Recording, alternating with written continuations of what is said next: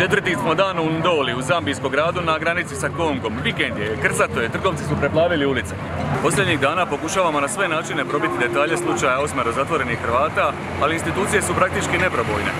Odvjetnik obrane, tužitelj, šef imigracijskog ureda, načelnik policije, svi su zatvorena knjiga. Informacije do kojih dođemo i koje smo do sada objavili su većinom neslužbene. Zambijci su iznimno oprezni u komunikaciji sa novinarima i ne sviđa im se ideja da netko njuška po njihovoj državi. Došli smo u jednom trenutku u dvorište zatvora i vidjeli kako čuvari prepraćaju hrvatske žene iz jednog dijela zatvora u drugi. Nismo komunicirali, trajalo je sve skupa nekoliko sekundi, jer čuvari su bili na svakom koraku. I još uvijek nisu pušteni na slobodu uz jamčevinu. U ponedjeljak je novo ročište. Tada ćemo znati više detalja o sudbini i budućnosti osmero hrvatskih državljana koji su još uvijek zatvoreni u zamku.